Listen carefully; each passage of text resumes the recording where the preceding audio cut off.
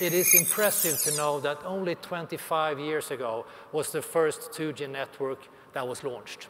And today we can hardly believe a world without being connected. Today we have some 4.7 billion individual subscribers on our networks globally. Some 7.8 uh, billion connections are also there uh, globally. Um, 4G is, is growing tremendously. We know that. Uh, roughly 1 billion connections globally is on 4G today. Uh, and we also know that that will grow with roughly up to 3 billion connections by 2020. So tremendous growth in 4G.